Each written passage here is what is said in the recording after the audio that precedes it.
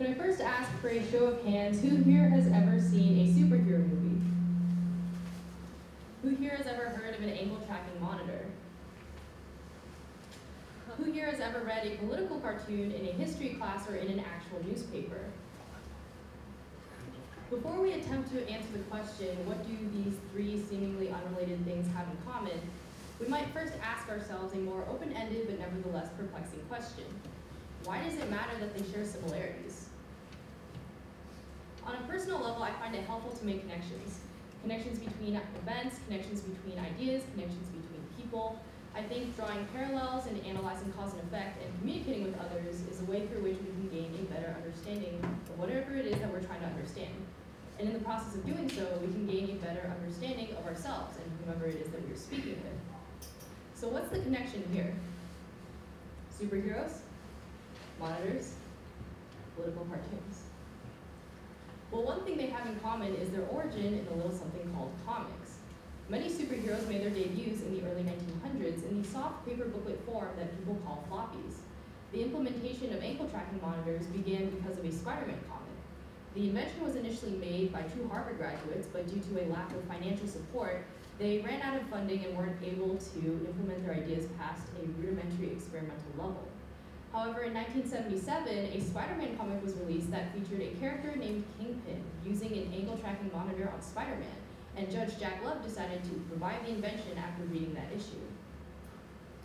So what exactly makes comics so effective at establishing ideas and opinions? Graphic fiction is just one of many genres of English writing, after all.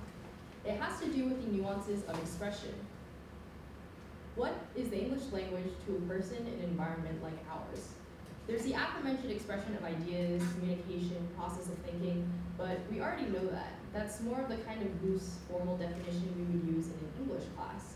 We use language to analyze language, to develop and express ideas that we communicate with more language. But the pathway from idea to written expression from our ideas is nonlinear. There are times when it's not even a direct pathway. Sometimes we imply things accidentally, or we want our words to have underlying messages. I have here a classic example of this. I'm fine. Two words, technically three if you expand the contraction, that could either mean I'm actually fine or I'm completely not fine and I'm insulted by the fact that you're unable to pinpoint what exactly it is that's upsetting me. A few years ago, I saw an episode of MasterChef and Joe Bastianich, who's one of the judges, said, sometimes the best things in a dish are things that are not in a dish. The first few times I heard that, I thought it made absolutely no sense, but in the context of language, it kind of makes sense. Sometimes it's not so much about what we say or what we write.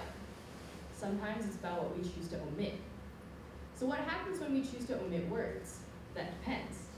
We can either omit words with no substitution, an example of this would be a asyndeton, or we can replace those empty spaces with something of visual significance. This is where the term graphic fiction comes into play. Some of you may be wondering what exactly is graphic fiction? The definition that I go by is that it's a general term that describes the combination of sequential art with fiction prose. A story is told through panels, which are drawings that contain segments of action and or encapsulate sequences of events. A page may have one big panel or several smaller ones, and each panel can be outlined with different shapes. A flashback panel, for example, might have a thought bubble instead of a standard rectangle. Panels can also be asynchronous, which means that not everything that happens in a panel happens at the exact same time. And we account for these changes, uh, these nuances during the comic creation process, things like flashbacks, dream sequences, other time skips. The, the comic creation process is something that I find very interesting, which is why I am going to be explaining it to you all today. How exactly is graphic fiction made, and what makes this process different from word-only writing or wordless art? The short answer to that question would simply just be a lot of things, but the long answer begins with a procedure, the comic creation process that I follow when I make my comics, which is as follows. Step one, have an idea. I've written flash fiction before and adapted my own writing into comics, but I've also gone straight into putting my idea on paper and made one-pagers on the spot. I'd say the general approach is to have a solid idea of your narrative and your dialogue before you illustrate. Maybe some notes or a pre-written version. Step two, decide on your medium. I prefer the simple black pen and paper look, but there are some who use Illustrator to uh, add images and text to their illustrations. Some people use paint or watercolor to color their comics as well. Step three is to have a plan. Most graphic fiction artists have sketchbooks in which they draw their thumbnails. A thumbnail is essentially a mini version of a full-size comic used to plan, tier, and panel spacing in advance. The artist must take into consideration things like line weight and border style when they're making their comics.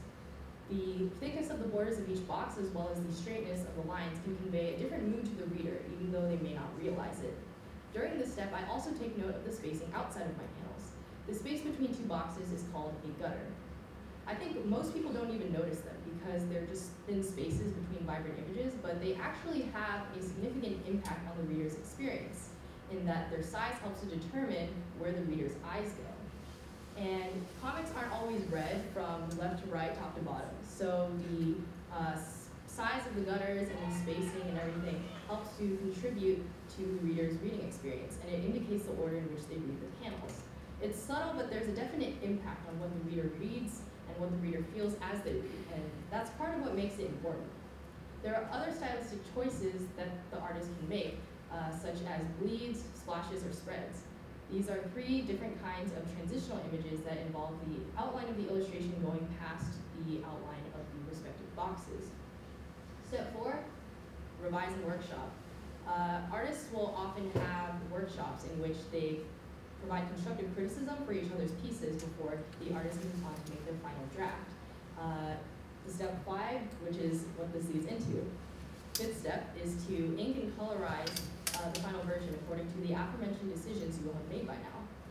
The appearance and aesthetic of your work will depend on certain artistic decisions that you make.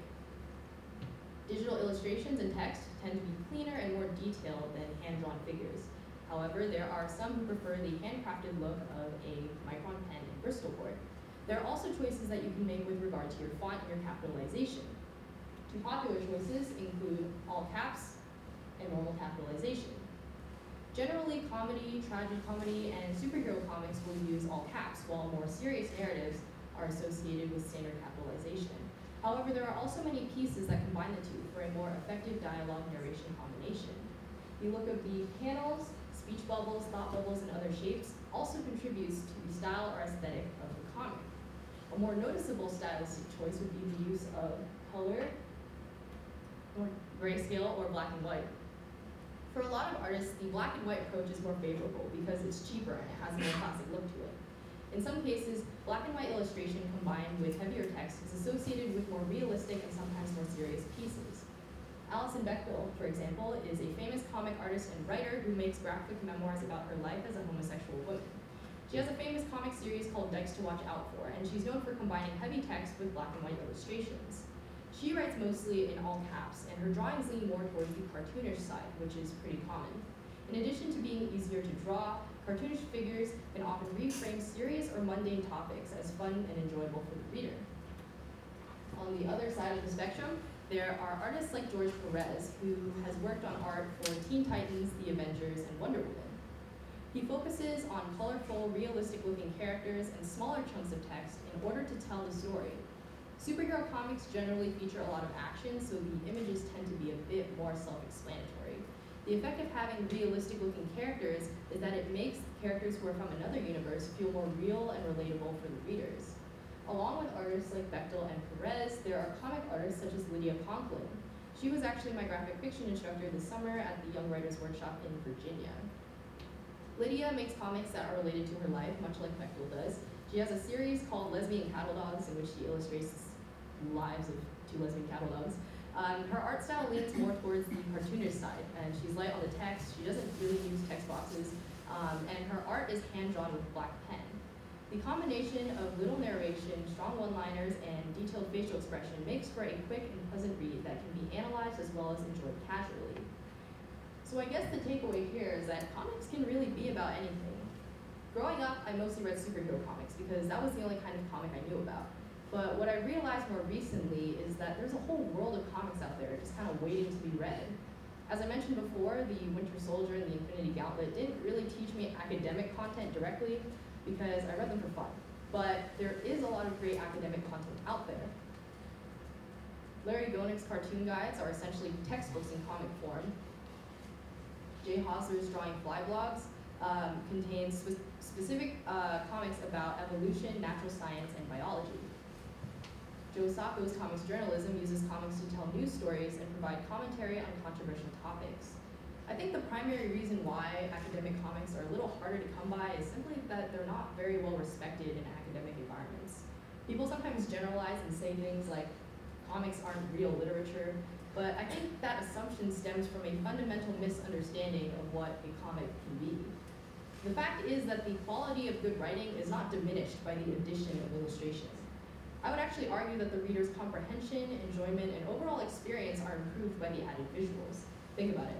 Visuals combined with text are not only more interesting, but they also can be more effective because they appeal to more aspects of your focus. Illustrated diagrams in textbooks, they show you things that you can't describe concisely. Those visuals help because they show, they don't just tell. With comics, you have the added benefit of seeing a character's body language without the writer needing to interrupt the flow of a conversation. You can see multiple people's reactions to the same subject simultaneously, and you can comprehend both the small and the big picture scenario just from skimming. The student writer can also learn a lot about writing just from making comics.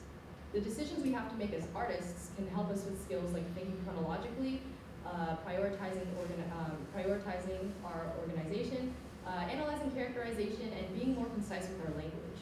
We should be taking a multifaceted approach to learning. In addition to conventional learning benefits, there are also lots of character and real-world lessons to be learned from comics. The entire X-Men franchise was actually created based on the problem of discrimination, which longtime X-Men writer Chris Claremont explained back in 1982. The X-Men are hated, feared, and despised collectively by humanity for no other reason than that they are mutants. So what we have is a book about racism, bigotry, and prejudice. Professor X serves as the moral compass of the comic, often preaching peaceful and harmonious coexistence, which has always been and still is an important notion for us to think about and discuss.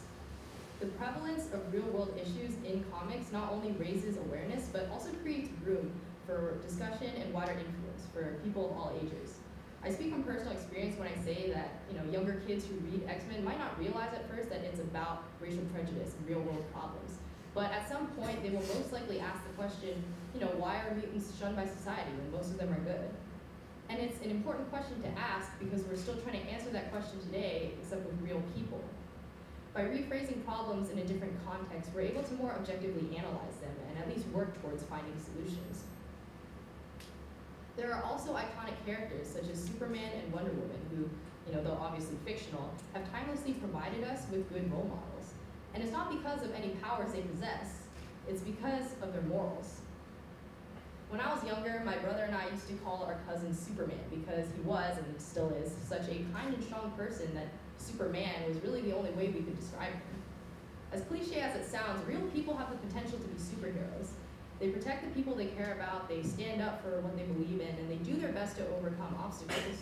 Super, Superman might have the added benefit of flight and heat vision, but that's not really what makes him a superhero. It makes him a superhuman, sure, or super alien, if we're getting technical, um, but the hero part stems from his character.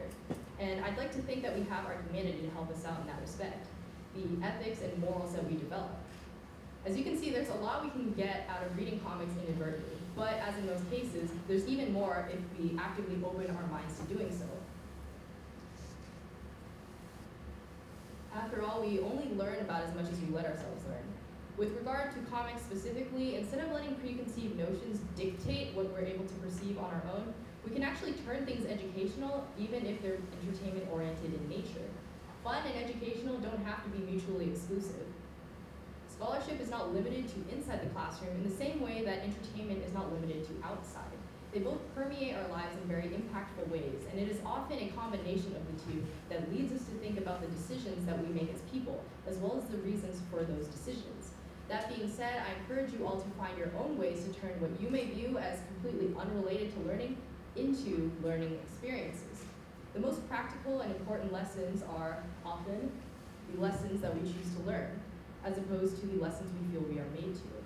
When we have open minds and we take opportunities to understand the world in new ways, what we're really doing for ourselves is a favor.